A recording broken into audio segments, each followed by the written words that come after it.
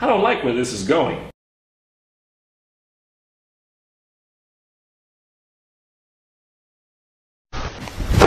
Emotional damage.